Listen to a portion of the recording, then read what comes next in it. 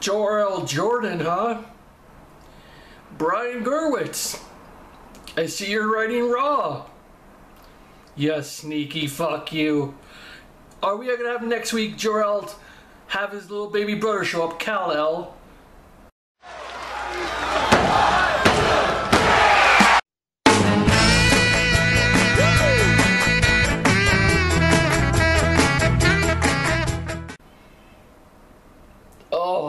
For fuck's sakes.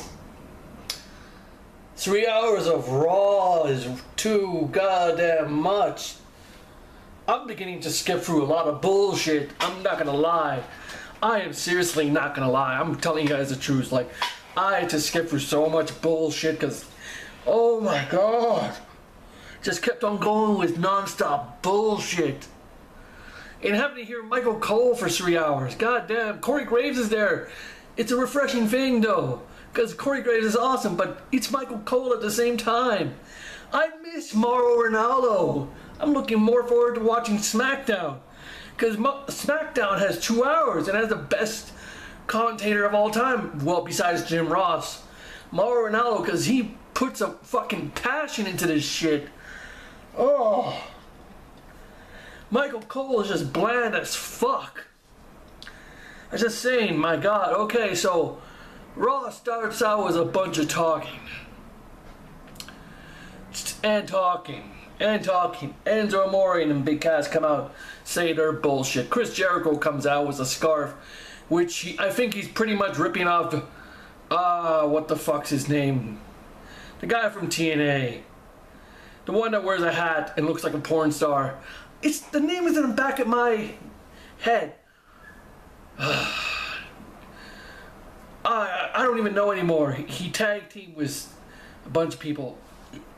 He he fucking he uh, got engaged to this girl on in a W in a indie ring, Joey something. Oh my god, why I can't remember his name. He has a porn star mustache look. Looks like a porn star from the 80s. I'll probably figure out his name. I was gonna say Joey Salads for some reason, but there's no such wrestler named Joey Salads. Maybe, who knows? Joey Ryan, that's his name. How can I forget Joey Ryan's name? That's how Raw fucked me up tonight, because, like, my god, I was so bored. Yeah, Chris Jericho, I swear to God, is kind of ripping off Joey. Sal- Why am I calling him Joey Salads? Fuck! Ah, Joey Ryan. Looks like Chris Jericho is ripping off Joey Ryan's look, minus the porn mustache, but he is growing a mustache. I don't know. Just kind of reminds me like that. So, we got Enzo and Cass taking on Team Canada of Kevin Owens and Chris Jericho for SummerSlam. Hey, I'm rooting for Team Canada. I'm rooting for my hometown boys. It's Canada. I gotta go with Canada. I'm not gonna go against them. It's Kevin Owens and Jericho. By the way, what's up with Jericho making up names and then saying like, "Oh, I wasn't looking at you. I was looking at him while he was looking at Big Cass." By the way, is Big Cass related to Perry Saturn? Because he has this whole eyeball thing going on, going on. Because like Perry Saturn had one looking the other way, one looking the other way, and Big Cass always looks like he's about cockeyed there. Every time I look at him, he's like. Although Big Cass is amazing, I just can't stop looking at his eyes of like how kind of going this way. It's almost to that point. Uh, and Mick Foley looking more like Captain Lou Albano every fucking day. Except he doesn't have the uh, rubber stamp. I can't speak today. Rubber thingy that you put on your fingers. Rubber thingy. Fucking. Man, Raw was boring. Uh, the rubber band on his beard. Uh, Sasha Banks took on Dana Brooks. Winner, it'll be either if Dana Brooks won, it would be a handicap match at SummerSlam. But Sasha Banks won, so it's her against Charlotte. Okay, that'll be good. Dana Brooks, though, my God. Fuck, she's hot, but and can go. My God, Dana Brooke, dude. No wonder you covered him up. I'm just saying. You, I'm just saying. Uh, so we got another week of Roman Reigns going after Rusev. for the U.S. title. Hey, as long as not for the main title, I'm happy. But does anyone else think they're gonna make it into a fatal four-way match on how it ended on Raw today? Because like Cesaro wrestled twice on Raw. First against Sheamus in a very boring match, and then against Rusev, and Rusev won. Sheamus came down to interfere, and Roman Reigns came out later. So um, pretty much, it looks like they're gonna go for a fatal four-way match. That's what it looks like. What they're doing. And anyone else find it funny that Daniel Bryan is like veering off script? Look, it looks like in saying what the fans are thinking. Like Universal title, really? Or are we gonna get a Milky Way title? I just love how he's just bashing the shit out of that. Also, they showed some retrospective of Brock Lesnar and Randy Orton. Pretty cool that they showed him from the OVW days. I didn't think they were going to do that and we actually hear Brock talk because that's something you don't hear most often Brock talking because the guy hates talking. And still, I'm not looking forward to this match because, like, back in the day when Brock was first started, when he was actually caring, when he actually cared about wrestling, did he actually care? When he actually did shit in the ring, it would have been something. But now he's gonna do suplex after suplex. I understand he just does suplex, that's his thing, but it gets old really quick. So we're just gonna see that the entire time. Yay! Puff Daddy showed up. Yay! Oh, Luke Gallows and Karl Anderson, this this fucking DX thing from back in the day where like they dressed up as doctors and started talking about nut jokes. Wasn't that funny? Not really, you know, background that's very shit. Talking about Biggie's nuts, got stomped to death, and showing his eggs in a bottle. PG friendly, my ass. Talking about nuts. Uh, okay. I don't know anymore. This Raw just went on way too long. Not the best Raw so far.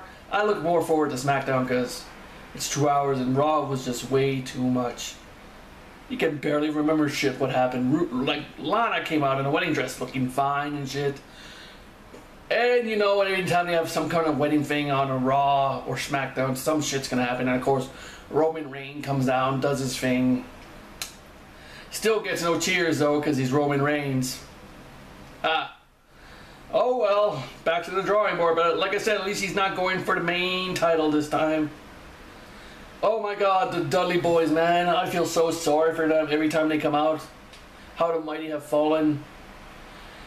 Man, oh, seeing the Dudley Boys every night on Raw is just sad now because they're just there.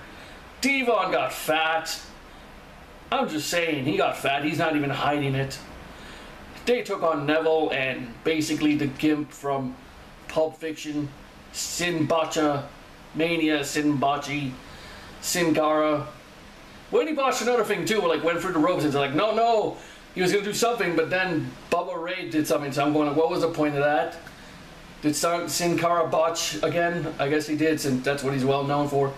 But either he looked like the Gimp from Pulp Fiction or Black Panther, one of the two. Yeah, I'm just saying.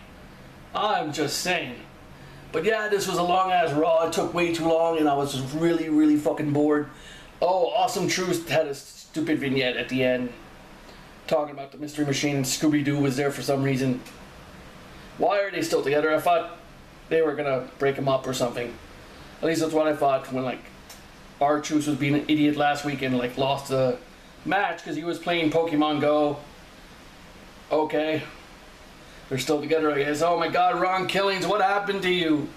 What happened to you? Oh, Darren Young versus Titus O'Neil, week two, yay! We're gonna get more exciting matches between these two. Remind me of the back of the days when Test and Albert went at it after they broke up. How riveting was that? Uh, and Bob Backlund, I'm not even sure he knows what the hell he's doing. Because he's Bob Backlund. Because he's looking utter shit all over the where. Even the commentators are saying, like, what, what the hell is he looking at? Because it's Bob Backlund. You don't know what he's up to. He does his own thing. I'm I'm betting, I'm wondering like if commentators were wondering what the hell he was doing. While Darren Young was being beat and Bob Backlund was just off, looking off in the distance. Because it's Bob Backlund. He's a crazy fucker. He is crazy. So get more for riveting more Darren Young Titus O'Neil matches. Yay. Fucking yay. the eye roller of the night.